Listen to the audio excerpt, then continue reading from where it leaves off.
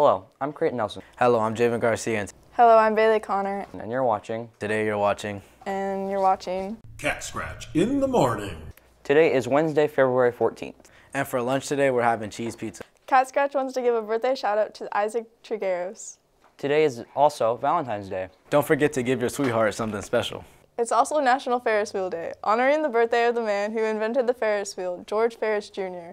You've been watching Cat Scratch in the morning. Have a great day. Have a great day. Have a great day. Please rise for the Pledge of Allegiance.